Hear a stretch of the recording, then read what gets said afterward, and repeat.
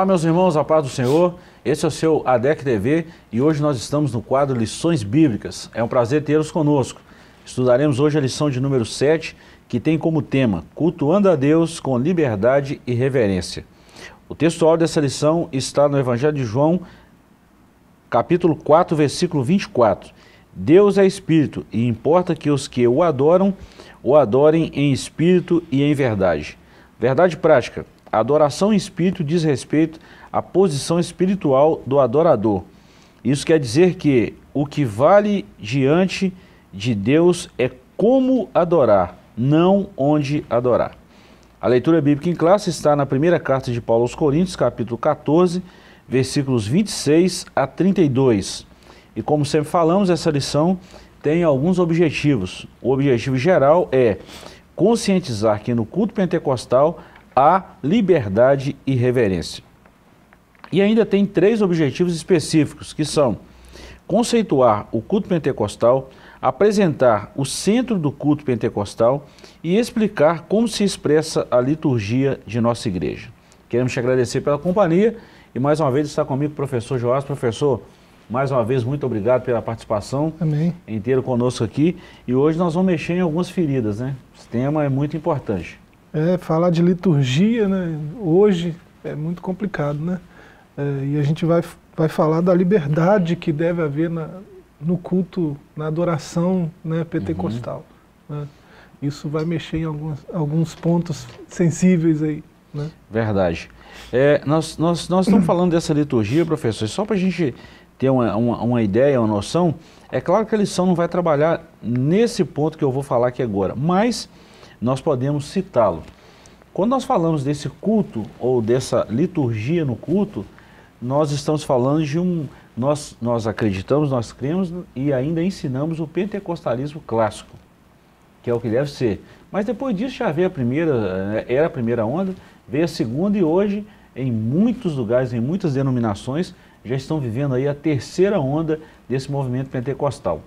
Isso é perigoso, né? Hoje, hoje o, o pentecostalismo está dividido em, é, basicamente, em pelo menos três vertentes, né? Uhum. É, nós temos hoje é, carismáticos, né? Uhum. Que entendem a importância dos dons espirituais, né? E, e a sua realidade, né? Comprovada pelas escrituras. Aí não estou falando assim de um grupo específico, né? Carismáticos tem aí católicos carismáticos, tem batistas, tem outras uhum. denominações, né? É, e nós nós estamos é, é defendendo como Assembleia de Deus um pentecostalismo clássico, né? Onde o Espírito Santo tem liberdade para fazer o que quiser fazer no, uhum. no momento de culto. Né? Nossa liturgia não não é engessada, pelo menos é, é, é, no sentido assim, não, é, não deve ser. Né? Uhum. Pode ser que alguém que nos assiste está numa denominação que é a Assembleia de Deus, que isso não seja uma realidade. Né? Mas, uhum. é, é assim, pelo menos na nossa declaração de fé e uhum. tal, nos nossos documentos oficiais e tudo, pelo menos é, é assim. E uhum. parece que é na maioria das, das nossas igrejas a liberdade é é um fator real, né? Verdade. É, e tem, tem, hoje tem o fenômeno do neopentecostalismo, uhum. né? É, gente que, que traz, é, coloca sobre o Espírito Santo algumas coisas que a gente não encontra é, base nem histórica e nem bíblica para dizer que o Espírito Santo faz aquilo, age daquela forma, uhum. né? É, então são são atos estranhos do Espírito Santo, né? Que, uhum. é, por exemplo, não há, não há base bíblica para dizer que é, o Espírito Santo vai se manifestar na vida de alguém para que esse alguém seja rico. Só para isso. Uhum. Né? O neopentecostalismo quase que diz isso com todas as letras, né? Uhum. É, sem falar de alguns absurdos aí que a gente vê, né? É sal grosso atrás da porta, é galho de arruda para isso, para aquilo. Né, e é, fica uma mistura muito estranha, né, que é, é chamar de pentecostalismo, mas não é, é, esse que nós estamos defendendo. É, eu vou só falar, é. fazer uma observação aqui. É, é, interessante que eu vi, eu vi uma publicação uns tempos atrás, até ensino sobre isso numa disciplina da teologia, né, nos nossos cursos aqui, eu falo sobre a história da igreja e dessas ondas desse pentecostalismo que nós estamos atravessando. Nessa fase atual da, desse neopentecostalismo, eu vi uma publicação um tempo atrás, não tem tanto tempo, vassoura de varrer capeta. Uia! Já pensou? Parece que é brincadeira, né? Mas é sério. E muitas pessoas vão nessa onda. Vamos classificar essas três ondas, professor, a gente entra na lição. É, eu não estou falando de denominação, nós estamos falando de movimentos. Isso. Tá? Nós não vamos citar denominação nenhuma por uma questão de ética e de respeito também. Nós não precisamos citar isso. Mas nós estamos falando, como é da lição, não falar de movimentos. Isso. Primeiro movimento do pentecostalismo, que nós conhecemos através da história, né, principalmente através da história, né, a história secular, a história da igreja. É, foi, começou em 1906 na Rua Azusa. Rua Azusa. Qual que era a mensagem que a igreja pregava nessa época? Jesus Cristo salva, cura, batiza com o Espírito Santo e leva o homem para o céu. Era a mensagem poderosa que veio até 1950, praticamente. Em 19... veio a onda da autoestima isso, e bagunçou o negócio. Isso, é. Aí em 1950, é, é, não é que a igreja, mas esses movimentos, nasceram outros movimentos, e esses movimentos começou a pregar sobre cura e libertação. Isso. Que também não está errado. É. Desde que seja de acordo com a Bíblia. Porque cura e libertação, a gente vê isso impregnado no movimento Jesus sempre fez isso. Sempre fez. É. Mas eles deram ênfase a isso aí, esquecendo, é, é, por exemplo, é, abrindo mão de doutrinas tão importantes como a doutrina da salvação. É. E alguns desses movimentos prezaram tanto, alguns prezaram muito para a cura, né? Uhum deram muita ênfase para outros deram muita ênfase para a libertação. Exatamente. Né? Aí esses que deram muita ênfase para a libertação, por exemplo, você vê, você vê um, um protagonismo do, do, dos demônios no culto. Olha uhum. só que coisa, né? Uhum. Eu estou num culto a, ao Deus vivo, aonde é, o protagonismo não é o Deus vivo. Você vê alguém entrevistando um demônio, você vê alguém conversando, batendo papo com o demônio, põe o microfone lá para o demônio falar. Olha só que coisa. Né? É, então essa ênfase foi, desfocou o sentido do culto. Aí deixou né? de ser um culto cristocêntrico com outras, com outras funções e atividades. É. Aí cada um vai julgar se está certo ou está errado. E em 1970, com o surgimento de outras denominações, a ênfase agora foi de uma prosperidade. É. Aí é que está o problema. Um culto voltado especificamente para o homem, vamos falar assim, infelizmente. É muito bom a gente falar disso, porque parece que a gente está. Por isso que eu falei que a gente ia mexer algumas feridas, porque a gente sabe da complexidade que é o assunto e da importância da gente tratar isso de uma forma teológica bíblica, né, de uma forma bíblica e de uma forma correta. Por isso que, é, é, tanto é a leitura bíblica em classe, né? É 1 Coríntios 14, versículos 26 a 32, Paulo está falando de uma organização na igreja de Corinto, que está vivendo uma fase conturbada e precisava de, de ser guiado pelo Espírito Santo. Professor, quem está em casa já deu para entender o que, que vai ser a lição de hoje, né? Então vamos lá. Introdução. No Novo Testamento, é, o Novo Testamento não apresenta um manual de liturgia e nem estabelece regras de cultos, mas temos pelo menos uma comunidade cristã do período apostólico que pode dar indicações sobre como devemos organizar o culto, a igreja de Corinto, descrito no capítulo 14 de 1 Coríntios. Com base nesse exemplo, vamos estudar como deve ser o nosso culto e elementos para que ele seja aceitável a Deus. Então nós não temos esse, é, é, nós não temos essa regra, esse manual na Bíblia, como deve ser o nosso culto. Ó, tem que começar assim, ter tantos louvor, ter tantos minutos de palavra. Mas tem um exemplo na igreja de Corinto, como Paulo organizou essa igreja pelo Espírito Santo a oferecer e prestar um culto de gratidão a Deus. Você, vê, você não vê uma liturgia pronta, uhum. mas você vê elementos da liturgia nessa, nesse capítulo 14. Né? Você vê uhum. pregação, você vê é, ministração é, da palavra de forma é, que qualquer um entenda. Né? Uhum. Você vê profecia, você vê louvor, adoração, né? e uh, esses elementos, oração, estão todos aí, uhum. né? no capítulo 14. É, e se a gente, qualquer um que participe de um culto pentecostal hoje, percebe que esses elementos estão né, presentes no, nos nossos cultos. E, né? e, não pode ser em tom de misticismo. Tem muitas, tem muitas pessoas, e é até é bom a gente falar isso, né? A gente convida muitas pessoas a estar com a gente, a estar nas nossas igrejas. E alguns falam assim, ah, não vou porque é diferente da igreja que eu congrego, da igreja que eu participo e tal.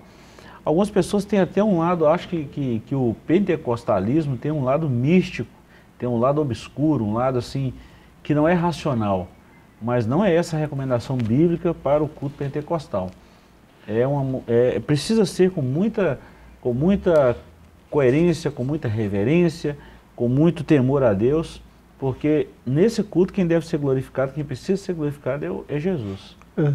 Você, na nossa leitura aqui está do verso 26 ao 32, mas se você vê o 40, né, ele vai falar de ordem, uhum. né, de uhum. decência. Verdade. É, nenhum culto pentecostal verdadeiro é, deve, deve estar isento dessas, dessas coisas, né, de ordem, de decência.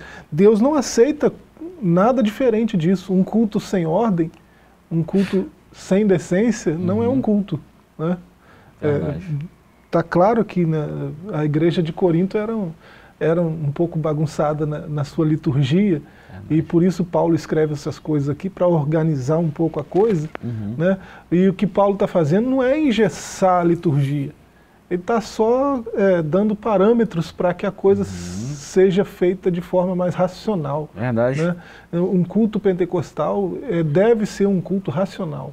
É, é, eu gosto quando você fala uhum. isso, professor, porque isso vai abrir na mente da gente. Como nós estamos falando da, dessa liturgia, desse culto na igreja de Corinto, vamos falar então da instituição da ceia. Por que, que Paulo organizou a ceia? 1 Coríntios 11, é a partir do versículo 23, que é um tempo que a gente sempre lê, mais nas ceias, né? Mas se a gente ver os versículos anteriores, você vai ver que no culto de ceia, no culto de gratidão a Deus, né, que relembrava a morte e a ressurreição de Jesus, ninguém esperava por ninguém. Cada um pegava o pão, comia, pegava o cálice, bebia de qualquer maneira, de forma desordenada. E Paulo então recebe a orientação de Deus para organizar isso na igreja. É, porque o, o, sentido dessa celebração é a comunhão. Né? Exato. Né? É, e, e, não há comunhão se cada um está no seu canto né, comendo aquilo que ele mesmo preparou, né, sem compartilhar, uhum. sem, sem interagir. Né, isso aí não é comunhão, é Paulo vem e organiza a coisa. Né. Olha bem, nós estamos falando de culto, da liturgia, de reverência. Então, no capítulo 1 aqui, o tema é esse: o culto pentecostal, liberdade e reverência. O cristianismo não tem o objetivo de padronizar o mundo e nem destruir as culturas. Sua mensagem, porém, é universal. No dia do triunfo de Cristo da igreja, cada povo ou etnia se apresentará louvando a Deus na sua própria tradição. Isso se reflete na forma de adoração desenvolvida ao longo dos séculos. É interessante, professor, quando a gente fala sobre isso, nós vamos ver agora sobre a flexibilização cristã. Eu vou até ler e comento o que eu preciso comentar. A religião cristã é flexível quanto à forma de adoração e permite várias liturgias. Todos os ramos do cristianismo, incluindo os cristãos nominais, tem a sua forma distinta de culto, desde o cerimonialismo ornamental das igrejas católica romana, ortodoxas e algumas protestantes, ao modelo simples dos evangélicos, é, principalmente os pentecostais. Nós estamos falando aqui que independente dessa, da, da, liturgia dessas igrejas que estão envolvidas naquela estatística aí de, de cristã, nós estamos falando aqui da flexibilização cristã, nós vamos ver vários modelos de cultos, várias liturgias do culto. E eu achei muito interessante essa introdução desse capítulo primeiro aqui, é que o evangelho ele não tem intenção de mudar a cultura. Sim. Muda a pessoa, muda a vida da pessoa. Isso. É, não, não pode, não tem essa questão. Ah, como é que faz? Igual, por exemplo, nós temos, vamos falar de novo, já falamos aqui várias vezes, tem um missionário, um pastor muito amigo nosso, em comum, né? Que é o pastor Elias, que está hoje no Peru. Está lá em Ticlaio. É, está lá em Ticlaio. Deus abençoe, pastor Elias, Deus te abençoe. É, esse programa chega lá, tá? Chega. De vez em quando a gente troca alguns e-mails e conversa e chega lá. E ele está lá no meio dos índios, na Amazônia peruana. Olha que interessante. E ele vai lá como dentista, ele e a esposa dele. Não mudam, não mudaram a cultura. Tem os mesmos, a mesma forma de se vestir, a mesma forma de, de alimentar. Ele mandou vários Às vezes chega lá e se mistura até com a cultura deles, não né? É? Então o evangelho é. visa o quê? Cristo visa o quê? Salvar as pessoas. Não tem nada a ver com a cultura. É. Claro que é uma cultura pagã, isso, precisa, isso com o tempo o evangelho muda as pessoas que por sinal é, é, aquela prática, não é a culto, a prática ele vai se distanciando, é a santificação, lição que estudamos domingo é. passado. Isso não é papel da igreja fazer. Não é. A igreja tem que é, mostrar a luz de Cristo. Exatamente. Né? É, o Espírito Santo é que convence né, uhum. o homem do pecado, da justiça e do uhum. juízo. É o Espírito Santo que trabalha a vida do homem, santificação e tudo uhum. mais. Né? Então, é, isso que a gente está falando que o pastor Elias faz é sair da casa dele, do conforto dele, para ir lá para o meio da selva, né, mata fechada. Um, um, povo estranho, que agora não é mais tão estranho, né, porque já foi desbravado. Né, uhum. é, e, e chegar lá e mergulhar na cultura deles e apresentar o evangelho a partir dessa interação, né? Isso, isso é o que a igreja deve fazer. Verdade. Né? É, agora, chegar, não, isso aqui que você está fazendo, essa cultura. Não, para de comer bicho de pau podre. isso aqui não, não se faz. Não, para de. Né? Vamos trocar essa alimentação, vamos uhum. trocar esse vestuário. A igreja nunca fez isso, não, não deve pode. fazer isso. Verdade. Né? É o Espírito Santo que vai trabalhando, até uhum. nas culturas, e tem culturas que são inteiramente transformadas Verdade. com a presença do Evangelho. A gente está falando de liberdade de culto, né? É interessante que o, o agir do Espírito Santo não, não é, não restringe a liberdade uhum. das pessoas, né, das comunidades. Né? É possível adorar a Deus em todas essas culturas, né, uhum. né, com elementos dessas culturas, né, trazer esses elementos para adoração a Deus e sem problema. Né? Deus não está Deus não está preocupado em mudar a cultura é, que que não prejudica o seu reino. Né? Não, não, tem esse, essa preocupação. Ele está preocupado em salvar almas. Né? Por que, que a gente fala isso? Se alguém for num culto se alguém presenciar um culto dos nossos irmãos africanos, eles vão ficar escandalizados com muita coisa. Já pensou um culto de 4 a 6 horas? 4 horas de culto, pulando, dançando, gritando. E o poeirão subindo. né? E é um culto é. a Deus. 4, 6 horas de culto, já pensou? Então nós falamos da flexibilização. Segundo, culto. E terceira, reverência no culto. Com relação ao culto, é um sinônimo de adoração, isso aí também não tem dúvida, né? Eu acho que está bem é. claro isso, né, professor? E, e assim, a, a, essência da palavra, né? A essência da palavra uhum. para traduzida como culto, né? Tanto no Antigo quanto no Novo Testamento é serviço. Verdade. Né? Avodar é adoração, mas é também serviço. Uhum. Então, é, é, a essência do culto cristão é serviço. Né? Há algumas tradições cristãs que não chamam nem de culto, chamam de serviço. Né? Uhum. As tradições inglesas, né, americanas, uhum. né, chama de serviço. Né? É, é o service. Né? Muito é, bom. Então, é, é, não, não, não, a gente não pode perder isso de vista. Né? Quando eu estou é, no que eu chamo de casa de Deus, de lugar, casa de oração, lugar de adoração, né?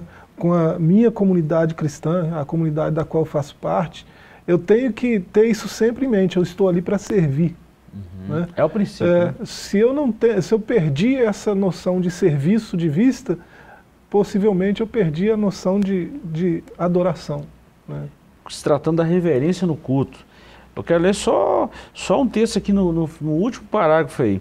Guarda o teu pé quando entrares na casa de Deus. É uma recomendação de Eclesiastes 5.1. Alguém duvidaria que se o rei Salomão vivesse em nossos dias, a mensagem seria: desliga o teu celular quando entrares na casa de Deus, adoração é um momento de conexão com o céu e não com a internet. Duro falar, mas a verdade é essa. Hoje em muitas igrejas está aparecendo assim, é, eu estava na igreja na Bahia uma vez, eu achei aquilo assim, a primeira vez que eu vi aquilo em Feira de Santana na Bahia, na época eu trabalhava lá. Rapaz, eu achei estranho, mas você acredita que tinha uma plaquinha proibido o uso de celular? Eu achei estranho para mim, eu falei, gente, mas não precisava disso na igreja. É. Como é que eu vou consultar meu léxico, minhas, minhas bíblias, tá todas as versões ali, tá, mas acontece que tem gente que não, não liga o celular na igreja para ver a Bíblia. Ah, né? aí que está o negócio, é, né? E assim, a gente está falando de liberdade, né? A liberdade não exclui a reverência. Verdade. E a reverência não exclui a liberdade, uhum. né? A gente tem que ter, por isso que nós falamos de santificação antes de falar disso aqui, antes uhum. de falar de culto. Né? Porque é, quando eu estou diante de um Deus que é santo, né? e eu estou ali diante dele com o pretexto de adorá-lo, né? eu estou ali para adorá-lo, para prestar culto, né? serviço. Né, pra, eu estou diante de Deus dizendo como que eu posso servir. esse, esse, é o sentido do culto. Né? Uhum. É, e se eu perco essa perspectiva de que Ele é santo, então o culto a Ele também deve ser santo, então eu que cultuo também devo ser santo, né? Uhum. aí a reverência é natural. Né? Agora, se eu não sei o que eu estou fazendo ali, eu estou no meio de um monte de gente que está cultuando, mas eu, eu sou um peixe fora d'água, eu não sei o que, que eu estou fazendo. Estou ali porque uhum. é legal estar tá ali. É, é, tem um monte de gente que eu conheço que é bacana, então eu, tô, eu quero estar tá no meio desse povo que eu conheço que é bacana. Uhum. então eu estou ali, mas eu não sei o que, que eu estou fazendo. Aí, aí a reverência ela não, não, não, não, está presente. Né? Aí eu entro no Twitter, no Face, no Instagram, e o culto está acontecendo. Eu estou alheio ao que, ao que está acontecendo. Estou né? é servindo, servindo a mim mesmo. Aí não, não é culto. Professor, eu, a, a, impressão que eu tenho quando a gente está no meio de um culto e um celular toca é que tem alguém mais importante do que Deus para falar para essa pessoa. Pois é. Para ele, ele pra, eu, a impressão que eu tenho é essa. Então, assim, desliga o telefone, põe no silencioso, na hora do culto nem hora para isso. E a gente realmente precisa das ferramentas que a gente tem hoje, por exemplo, somente estudo. Eu estou com um aplicativo aqui, você me falou dele mesmo, e a gente tem Bíblia, tem original, tem tudo. Isso faz parte do nosso culto. Isso ajuda, isso agrega valor. Agora, a partir do momento que eu tenho outras funcionalidades que não seja essa que glorificam a Deus no meio do culto, eu estou sendo um elemento estranho à igreja. Isso é perigoso. É. Vamos a um pequeno intervalo, voltamos já já para concluir esse assunto que é muito importante sobre o nosso culto, o nosso serviço cristão.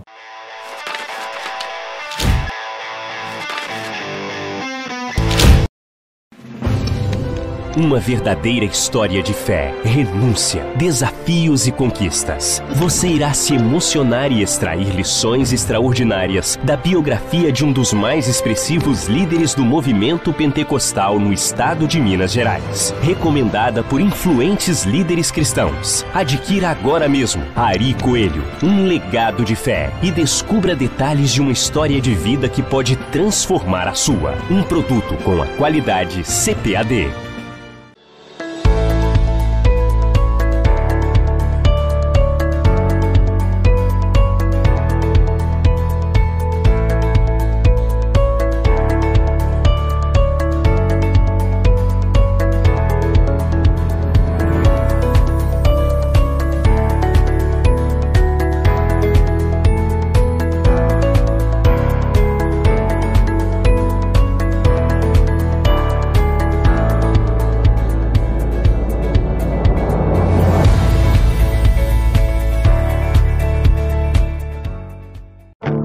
Vivemos uma onda de ataques ao movimento pentecostal e a fé de muitos tem se esfriado.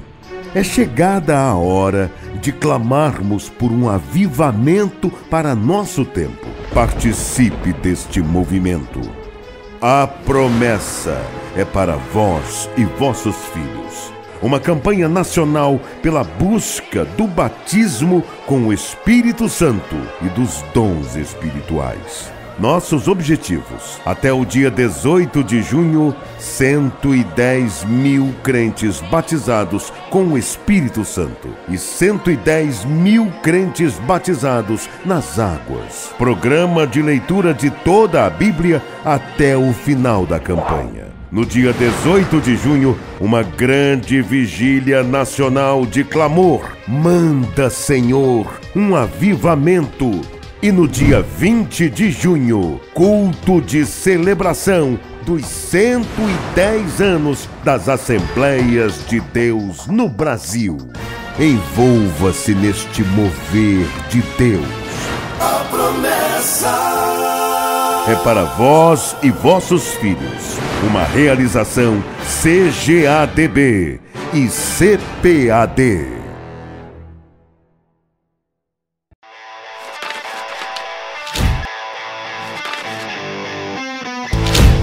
Olá, queridos, estamos de volta com o seu ADEC TV e estamos trabalhando o quadro Lições Bíblicas. Estamos falando sobre o nosso culto pentecostal, o culto que deveria apresentar o Senhor, né, Joás? Eu falo deveria porque muitas vezes a gente deixa a desejar, né? É, estavam, estavam falando isso no bloco anterior. Somos humanos, né? O humano é, é muito compatível com falha. Pode acontecer, é, né? É, a gente está sempre falhando, somos falhos mesmo, né? E Uhum.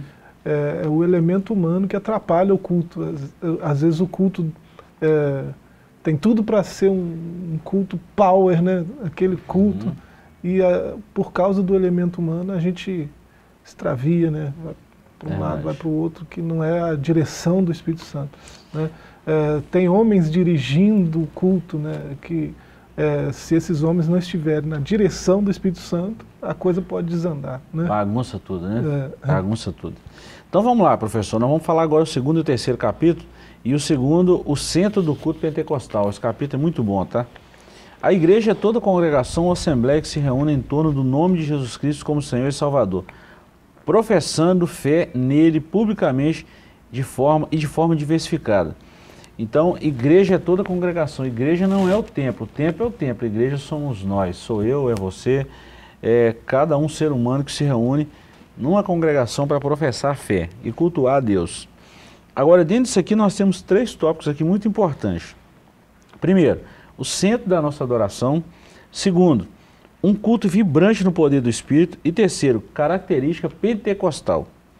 Então nós vamos trabalhar esses três tópicos aqui. Primeiro, o centro da adoração. Alguns opositores da obra pentecostal costumam nos acusar de em nossos cultos darmos ênfase ao Espírito Santo acima de Jesus.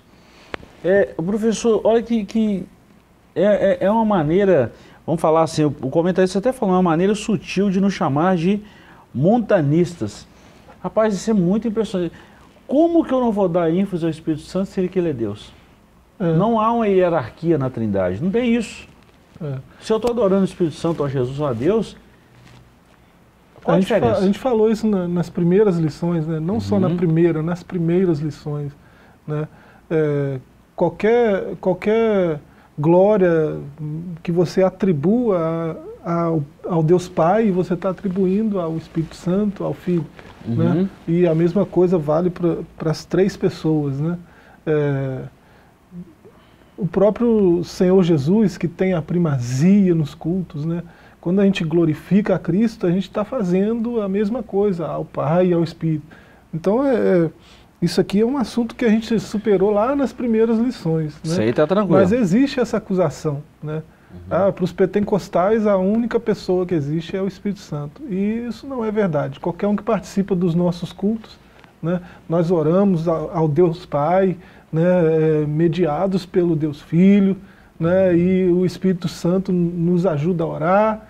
E a gente, nosso culto é, é desse jeito. A, a Trindade participa do nosso culto e é glorificada com, como é, o Deus Trino, né? como uma unidade, mas como Deus Trino. A gente não, não enxerga só uma pessoa na Trindade. Olha, professor, eu, eu lembrei de um fato muito interessante de uma mensagem que eu ouvi.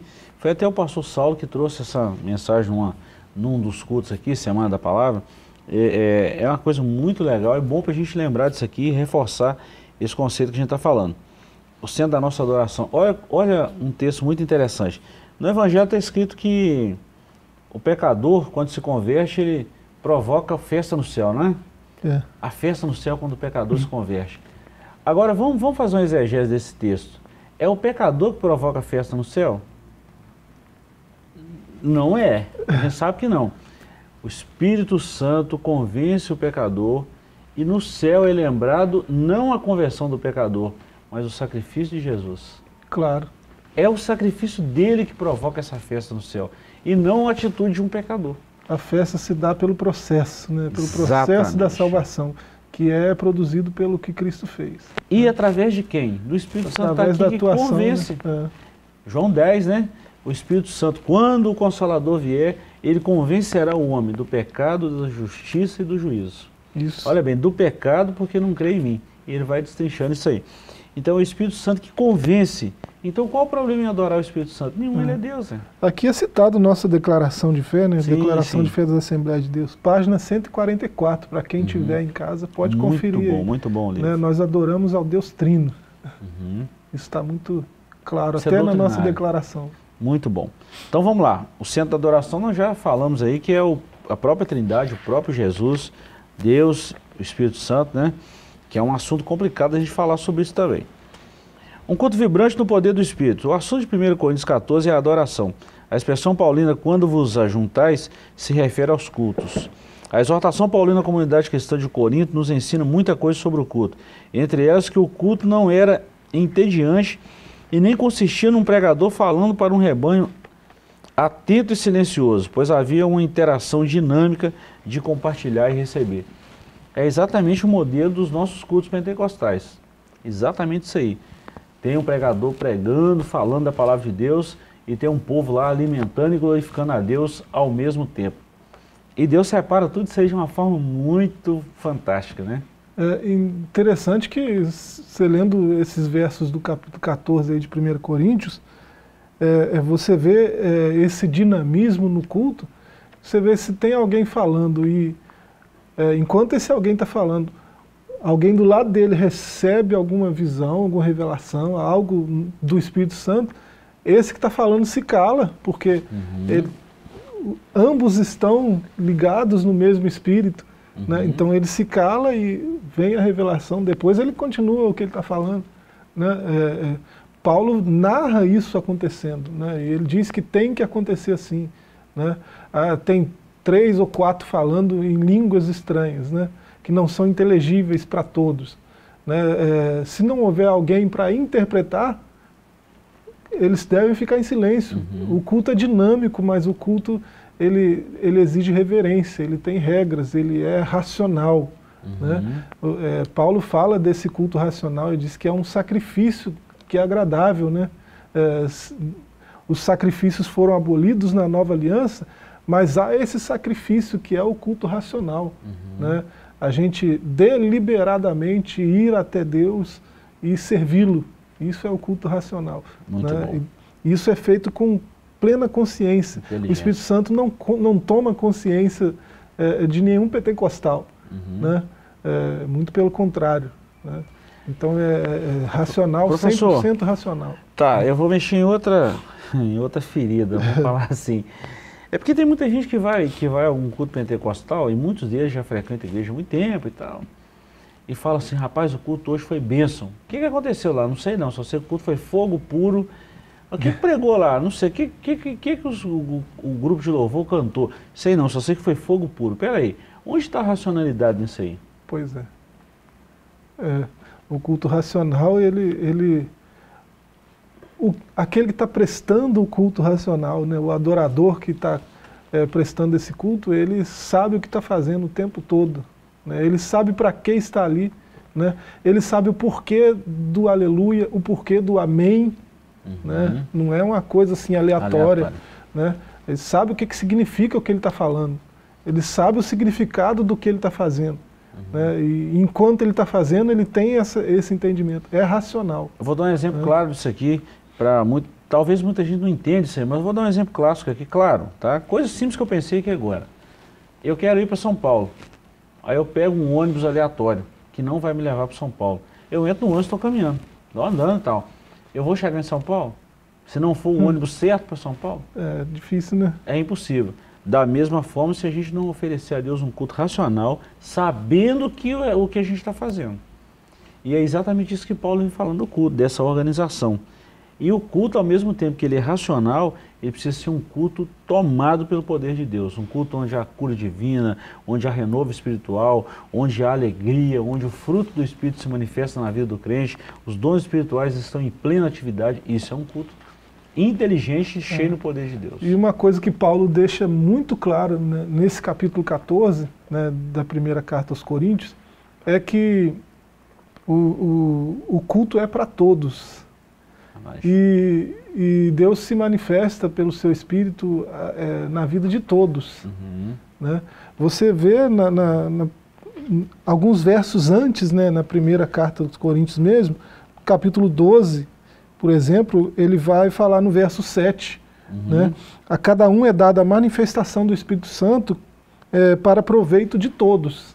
Uhum. Então, é, todos recebem o Espírito Santo e cada um tem algo, é, é, é alguma manifestação específica do Espírito, cada um. Uhum. Então, cada adorador, cada crente, né, um tem um dom, outro tem outro, outro tem outro. E esses dons são para a edificação de todos. Do corpo, né? né? Então, é, é, cada um tem seu lugar no culto.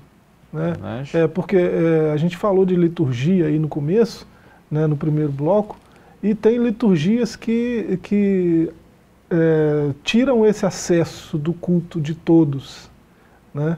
É, não, é, você está aqui para assistir essa liderança específica, louvando, pregando, né, profetizando. É, é, o Espírito Santo manifesta ali, naquela liderança ali. Né? Você está aí, você é um espectador, né? você está só assistindo o culto. Né? Você não está assistindo no culto, né? assistir no sentido de assistência. De trabalhar. Você né? está assistindo no sentido de ser um espectador. Né? E o culto não é para isso. O culto é Deus, o Espírito Santo se manifesta em cada um para o bem de todos. Então, é, é, quem ingessa a liturgia dessa forma é, está extinguindo o Espírito Santo, algo que o, próprio, o mesmo apóstolo falou aos Tessalonicenses para não fazer.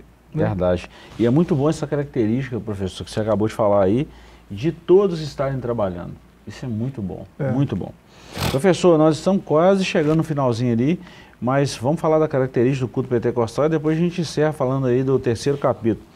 É, vamos falar assim dos nossos cultos na atualidade. Esse culto tem é, oração, tem cântico, tem louvor da parte da adoração a Deus, é, tem exposição da palavra de Deus, exposição da Bíblia, né? Então o culto tem todos esses ingredientes, tem Oferta. a oferta que faz parte do culto, tem o convite, né? A, a pessoa, ah, eu entendi a mensagem que está sendo pregada, tem essa, essa, esse convite, você quer ter acesso às coisas de Deus, tem essa oportunidade. Então o culto ele tem esses ingredientes. Não pode ser aquele culto engessado. E outra coisa, isso não é, isso não é, é, é, vamos dizer assim, regra. Os cultos podem mudar, podem inverter, por exemplo, hoje acontece um louvor primeiro, depois a pregação, pode acontecer a pregação primeiro, depois o louvor, não tem nada engessado. Isso é de acordo com o que o Espírito Santo conduzir a direção naquele momento que estamos cultuando a Deus. É, é, é muito bacana. acho que Quando a gente parte, nós nós estamos gravando aqui, isso aqui é gravado, né, na Uhum. segunda-feira.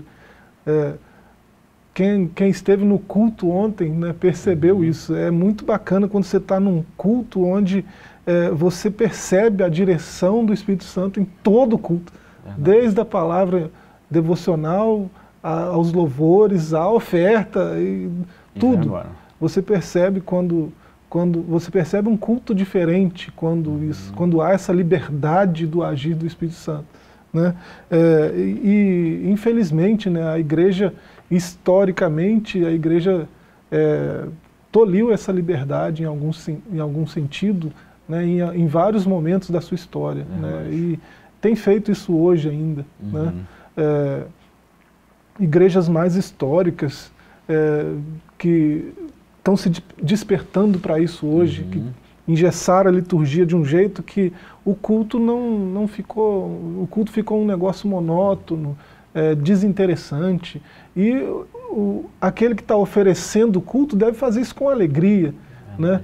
Então até é, denominações mais históricas que têm uma liturgia mais mais fechada estão se despertando para isso, né? Estão abrindo mais o leque, né? No sentido de da liberdade no culto, né? De uma liturgia mais liberal, né? É, isso é muito interessante e a gente percebe o mover do Espírito até nisso. Nossas reuniões coletivas de adoração apresentam as mesmas características dos cultos em Corinto. Manifestação nos cultos, que o apóstolo menciona em 1 Coríntios 14, são reais entre nós. Quando vos, quando vos ajuntais, cada um de vós tem salmo, tem doutrina, tem revelação, tem língua, tem interpretação. Nossos irmãos e irmãs entendem essa linguagem com facilidade, pois vivemos essas mesmas experiências. São expressões espontâneas no Espírito Santo. Então, olha aqui, vejamos que nos versículos 27 a 32, o apóstolo está tratando do culto pentecostal e se refere ao dons de línguas, interpretação, profecias no culto. É muito comum o visitante sentir a presença de Deus em nosso culto.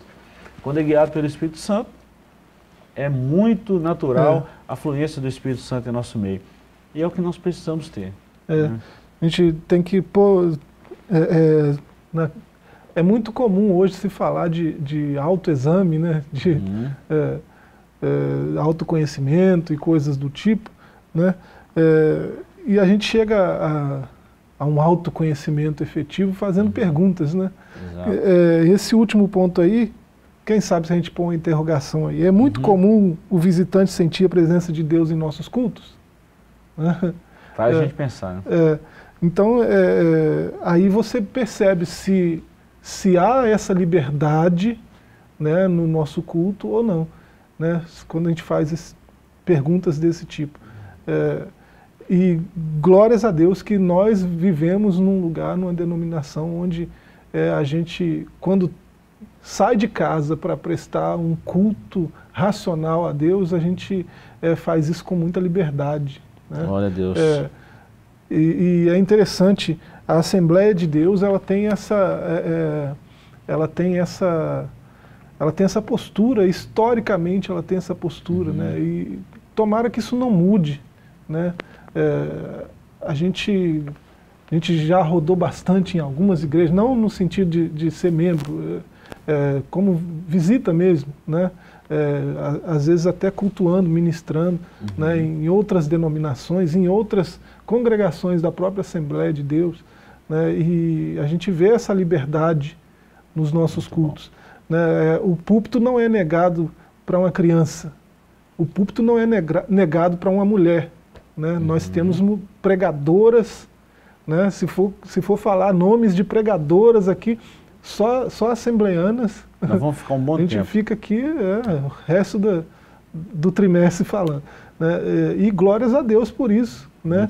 Nós não somos exclusivistas. Né? Se o Espírito Santo quiser tomar uma criança e, e, e usar essa criança na pregação, ou no louvor, ou do jeito que ele quiser fazer, ele faz, porque no nosso meio há essa liberdade. Verdade. Né? É, com William Seymour, isso era mais forte, mais evidente, né, lá na Rua Azusa, porque Deus usava negros num país segregacionista, uhum. que até hoje é em algum nível. Verdade. Olha quanto tempo já passou e até hoje, você imagina na época de Seymour. Né? O Espírito Santo tomava negros. Né? Uhum. e negros pregavam com ousadia a palavra da verdade. Né? E crianças e mulheres. No, que era Pensa, ainda, né? Aquilo ali foi antes da, da Revolução Feminina. Né? Uhum. Antes da primeira onda feminista, que uhum. a primeira onda feminista é o feminismo bacana. Né? Uhum. Depois bagunçou tudo, mas é, antes disso, Deus tomava mulheres no culto na Rua Azusa e havia liberdade para elas pregarem, falarem né? É, e, e cultuar né, com liberdade.